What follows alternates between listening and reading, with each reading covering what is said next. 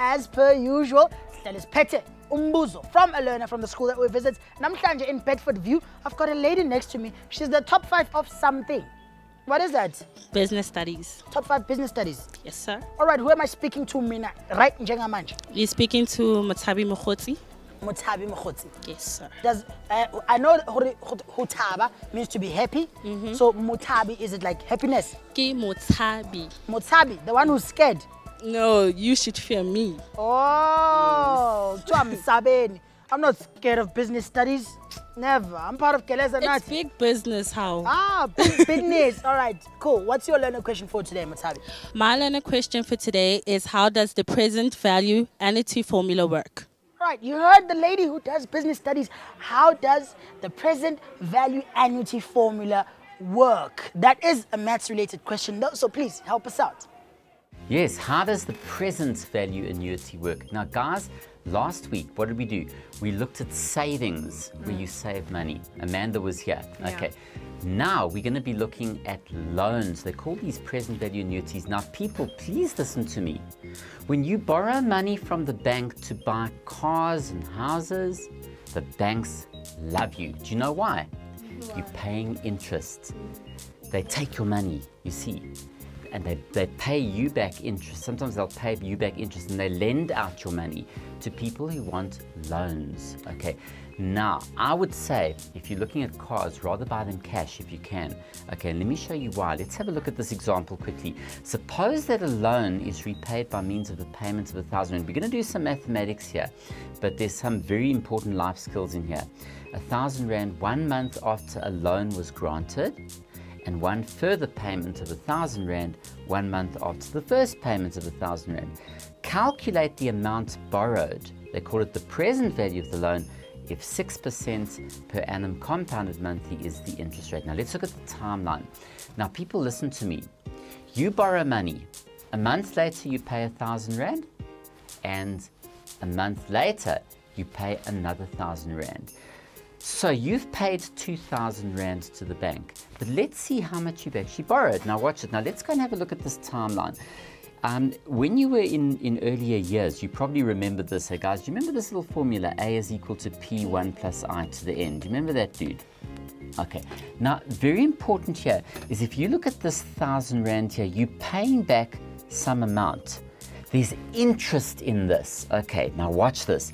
If you take the thousand and what you did previously, you say your final amount there's a thousand is P into one plus its its compounded monthly 0.6 over 12.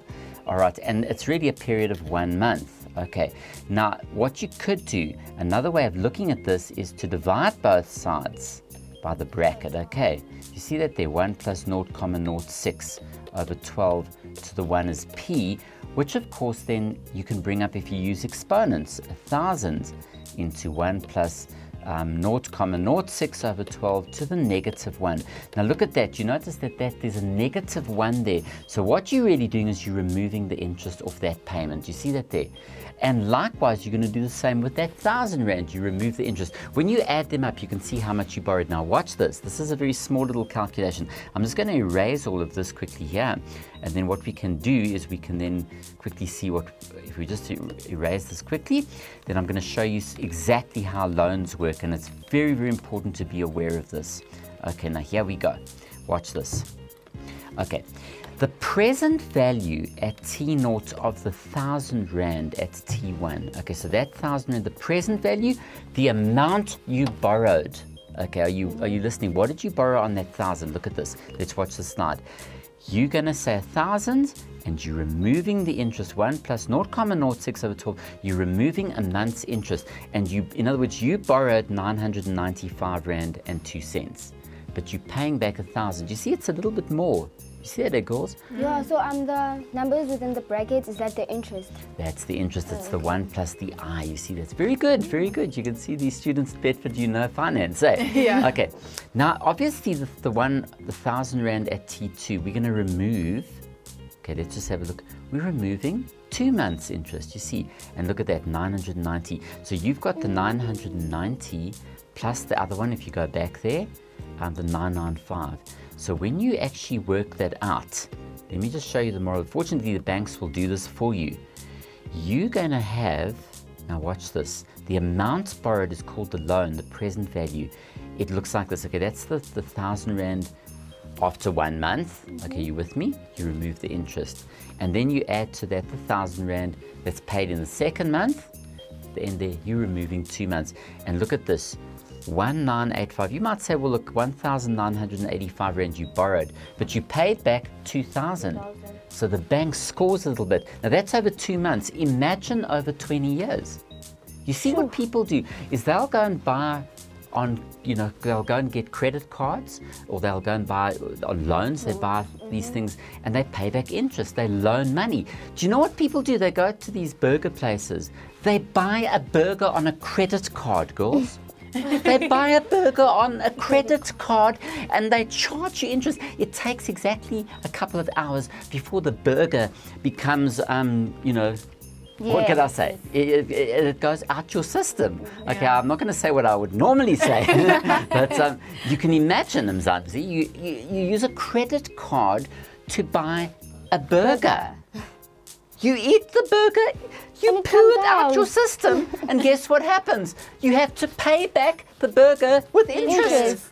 Now that is insane. I don't know. Rather go and buy the burger cash. You know what you do is if you go and negotiate with cars, you can go, if you've got cash, you can go in and say, give me a, a discount. You see, give me the deal. But people want you to get into loans. I know you need credit, credit records. They always talk of that. But listen to me. Don't go and buy stupid things on debt, on loans, paying back interest every month. Yeah. That is so stupid. People, you know, okay, you need a house to live in one day and you get loans and cars, but pay it off quickly, you see. So that's the, this is the important thing. Now, the mathematics here is called the present value annuitive formula. There's another way to do it because remember, we just had two payments, but what, how does loans work? They're going to take you over 20 years, 240 payments. Okay, so let's have a look. The present value formula is that they I always remember it has got a negative exponent there. X is the payments you make every month or whatever, then N is the number of payments you make, and I is the interest rate. So if we use this little formula now on that loan, okay, we can plug in the values. Remember, there's two payments: the interest rate, the thousand rand. There's two of them, and if you and if you plug into this formula, guess what? You get 1985,10. You can see that there. So, in other words, the formula helps you to determine how much money you borrow. Okay, mm. and the worst part is, you know what happens is because of this interest. The formula is going to remove the interest of all those payments and it's going to show you what you borrow. But you know what the worst thing is? That you buy, buy a house, let's say today for 500,000 Rand. You go and borrow money and it's all wonderful.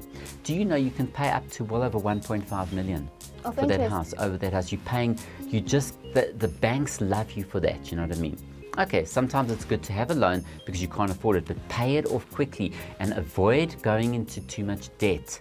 Do you know, it says, there's a book that I was once reading, it says, do you know in this country, in fact the world, there's only about maybe 3% of people that will retire financially uh, okay.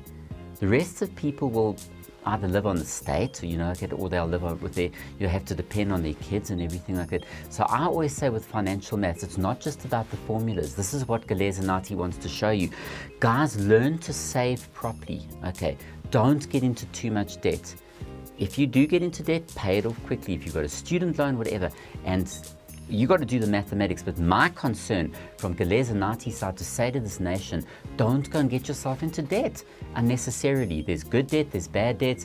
Okay, but the most thing, I wish we had hours to talk about this, but the important thing is the maths here. But remember, a loan is where you borrow money from the bank and you're paying it back. Now, the advantages of this formula, you can take, you can actually work out a whole lot of payments. So let's suppose, I'm just going to go to timeline.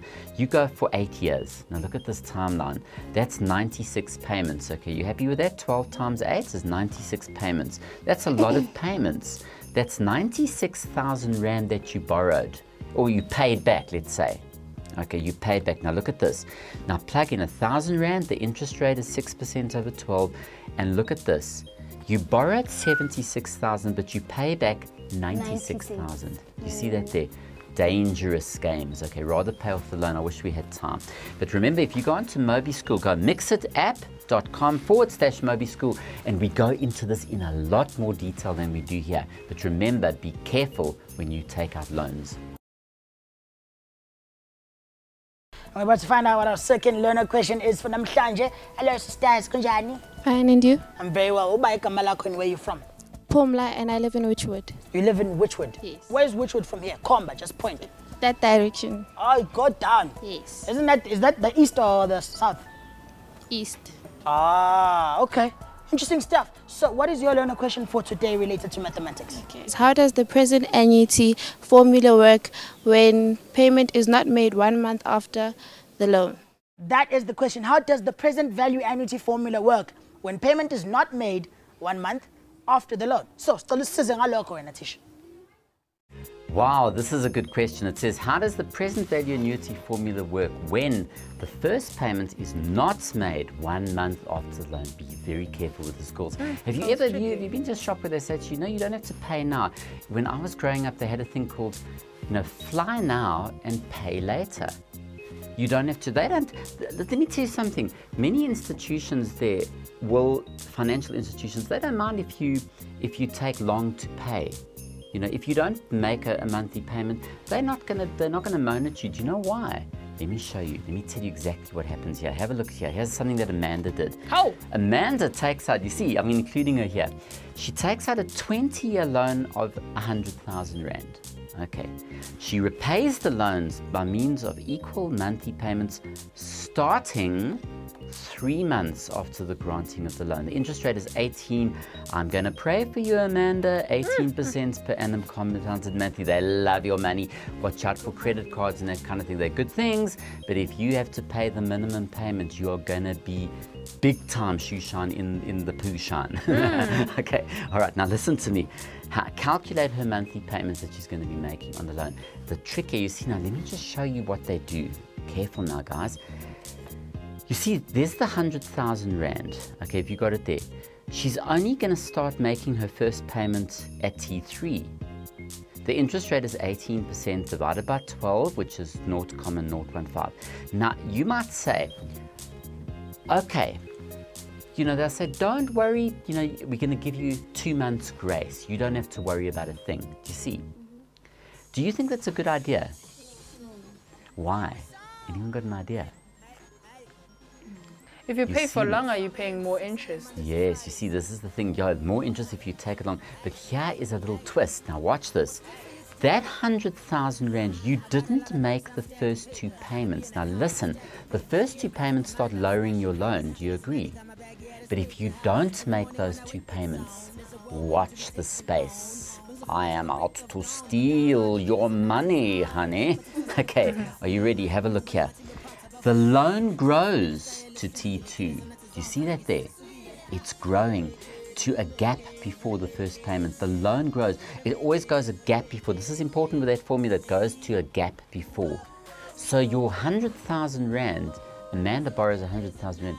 She's gonna, and she's not making the first two payments. She missed the two. Okay, now that means that she's going to have to, the loan grows more, you see. So have a look here. If you go back to this thing, what we can then say, all right, look at it. The 100,000 Rand, we load on two months' interest. You see that there? Now, the number of payments would be 240. Okay, 240. But we missed two, so we're down to 238. You see that there?